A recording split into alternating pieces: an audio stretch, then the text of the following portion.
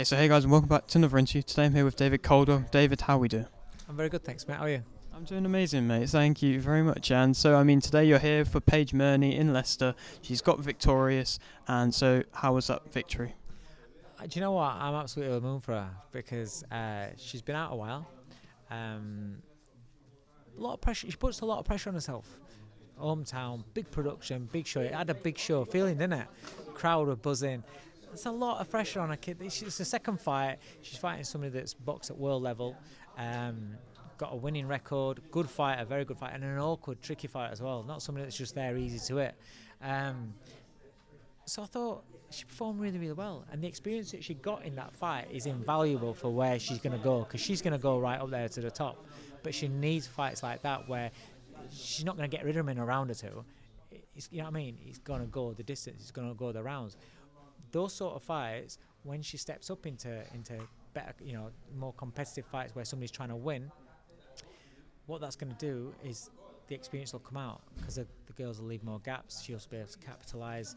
You know, she's learned one or two things from that fight already. She's got it in her head now. She knows to put forward into the next one anyway. Um, so I'm over the moon with it. Really am. Indeed, and I mean for herself now she's come back and she's bit, had a little bit of time off, like you said, but she's come back now. Are you wanting her to have quite an active year this year? Yeah, I would do. Mate.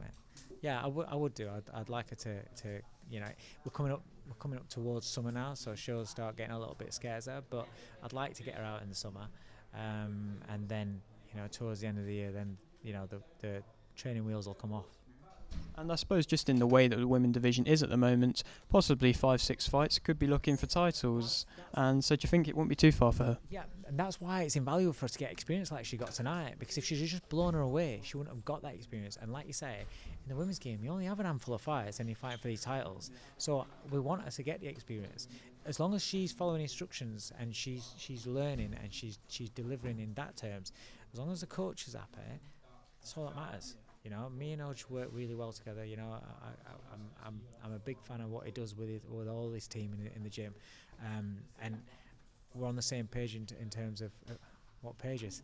Um, and um, so yeah, we've, we've just got to we've just got to make sure that everything's get ticked as it goes along, and she's not rushed, um, and she gathers the experience on the way through. Indeed, and now just to move on to another one of your fighters, Muhammad Ali. I'm really liking the look of him. He's seemingly shaping up to be a, a very good fighter. And so, how much potential do you see him having? He's got bags of potential. He's got bags of potential. He's very very young, so I'm always, I'm always over cautious, a bit more protective rather than a promoter would be, where they like see him start thinking, oh, he's good, him start stinging him. in. I'm like, no, no, no. Um, he's only young. He's only 18. Um, he's getting some great experience sparring with Jordan Gill, with Stephen Keynes in the gym. Um, does some rounds with Hopey as well. Um, so he's getting great experience. He's great to work with because he just wants to learn. He just wants to develop and, and soak it up. Um, and you've you know you've probably seen him around ringside. And everything. He, he's such he, he's such a nice kid. I, I like the fact that he's he's very very flash in the ring, but out the ring he's he's he's very humble. He's very he's very coachable as well. Indeed, and I mean you've got a couple of good fighters over with Matchroom at the moment, and just to speak about another one, Hopey Price. Of course, his fight just recently got announced, and it's a good tough test for him, Beach Junior. And so, how do you think he's going to fare with that test? I'm I'm loving this because everywhere tonight, everybody's coming up to me and telling me about this fight. Oh, that's a good fight. That's what you want. That's what you want. You know, it, it, makes me kind of like. It sounds. Uh, I'm I'm I'm even more proud of Hope because he he wants to take these steps and and also the fact that I. That's the the the the plan that I've got for him. It's it's nice when you're proud of your kid because you jump in steps, jump in levels. You know.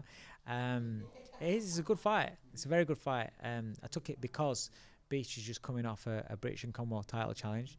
This is Hopey's first fight at featherweight. Um, and it's the experience again. I want him to, to soak up from while he's in that ring. Beach will give him problems that he's not faced before, um, you know. And but having said that, if if Hopey performs like like I see him in the gym every day, then it's going to be a really good announcement of his of his capabilities in the featherweight division. Can't wait, mate. And uh, just to speak about Jordan Gill now, of course, of course, unfortunately, he is coming off the loss, and things haven't really been the best for him at the moment. And how is he doing mentally wise? He's doing. Uh, thanks for asking. He's doing great. Um, obviously, frustrating times, um, but he's he's very very professional. He's getting on with his job. He's learning. He's getting better. Um, we're getting some great sparring. So we'll we while while things aren't going great in terms of promoters giving us dates and things like that. Um, he's taking care of business, making sure that he's a better fighter than what he was when he fought last time. Um, moved to featherweight. I don't know if you're aware of that. Um, it's one of those where, I mean, I'm not making excuses. Look at him on the scales against Kiko.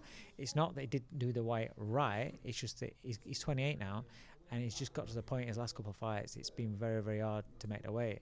Um, and when you've got a title, especially when you're a Jordan Gill and you're not a, a superstar prospect or, or you know a big cog in the, in promoter's wheel, that's your bargaining chip. You can't just go, oh, I'm going to move up and wait. Nine times out of ten, a fighter you know loses and then moves up. It's not about making excuses for loss. It's just that Kiko was a better man on the night, but you could see in that fight every time Kiko touched him, he went down, and that's not Jordan. And you know, since then, watching him in sparring, he's taking shots. There's not. He's back to how Jordan was sparring when he's heavier. You know. Um, so yeah. So he's gonna um, he's gonna box at super featherweight, and I've got all confidence in world him at super featherweight. I just need to get him out in an eight round. I'm not, you know, being offered to just sling him straight in with a, a big, you know, big fight. No, he's, he's just come off a bad loss. I think when you've you know when you've been European champion, been Commonwealth champion, when you've done things like that, I think you deserve to have a fight back. There's there's plenty of other fighters that get brought back with a, with a little eight rounder. Um, before you know, I'm not asking for three, four fights. I want one fight, and then we go back again, and we go into big fights again. Of course, and I know people are very quick to kind of jump on the bandwagon and deliver hate to any fighter, and I suppose it's good to hear that he is mentally getting through that all good. Yeah, no, he's fine. He's fine. He's he's got a great family. He's got you know the the, the guys in the gym. We're all very very close. Um, yeah, he's he's sound. Good to hear, mate. And so, I mean, to speak about Hopey Price some more, I suppose, on his uh, undercard for Dalton Smith. And Dalton Smith, I mean, he was here today, had a good chat with him, and he looks very prepared for his Sam Maxwell fight. And so, what do you make of that fight? Him trying to unify the uh, British belt. He's he's uh, he's I like Dalton. I like his attitude. I like his character. I like his he's a his punch pickings. Like his punch picking is fantastic. It really is. Um, I think it's a really good fight because Sam's a good fighter as well. Sam's uh, you know his experience. He had loads of experience in amateurs. Um, both good amateurs, but I think Sam boxing WSB is literally like being pro. Um, so Sam's very experienced. Um, I just think that because Dalton is very, very calculated and very, very um, intelligent in the ring, um, I think that that goes in his favour because he, he doesn't he doesn't make a lot of mistakes.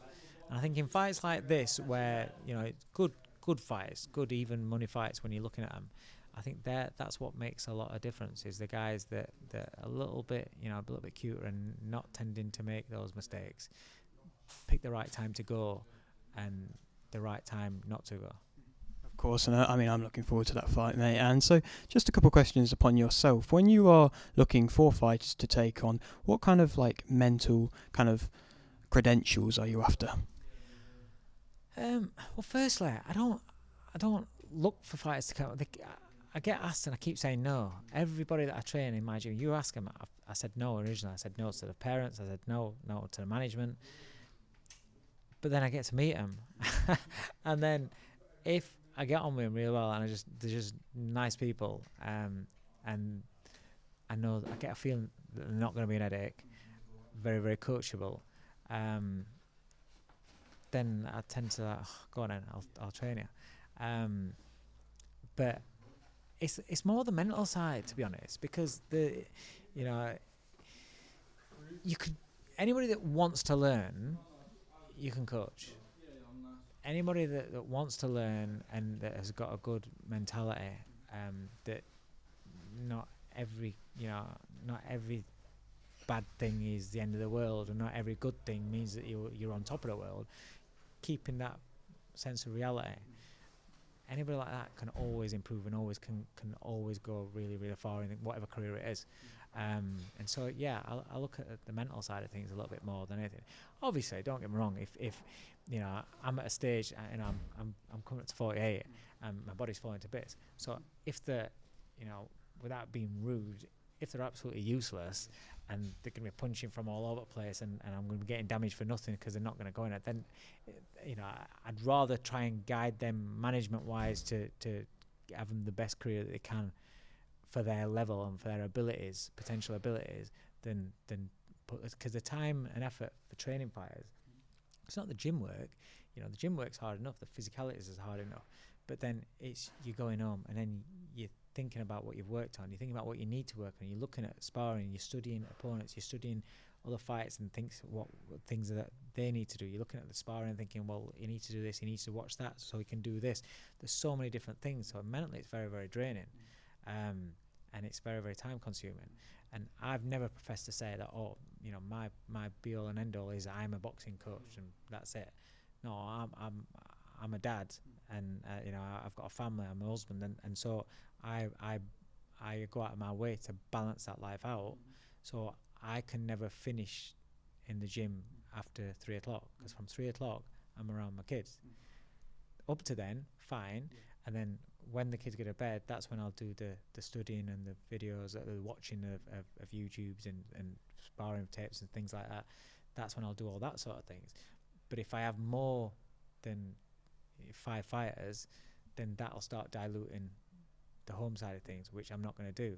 Um, so some, so, you know, some people can say I'm not a proper trainer. Fair enough, I'm not a proper trainer. I I look after as long as I can give the maximum to the fighters I work with. I don't go over them. I don't take more fighters. I'm happy with that, and I can give a maximum to my family. So that's my balance. So that's why I don't have many fighters. Mm. No, that's completely understandable. And I mean, I don't want to take up too much of your time. I'll leave with this final kind of question. How would you like to be remembered in boxing? Oh, wow. That's a really good, a couple of really good questions, not like everybody else. Um, just, I've just, I've all, I love the sport. Um, and I've always just tried to do my best. Whether I'm good at it or not, I try to do my best. Um, and just someone that when people have trusted me with their their career and, and I'm coaching them, I've tried my best. Mm. And sometimes I've managed to make them successful for what they are, and sometimes I haven't. But all I can say is that I, I do give my best, and that's it. Of course, mate. That's seen. Everybody can see that, mate. And uh, I appreciate your time very much. Thank you very much, mate. Legend. Thank you. Cheers.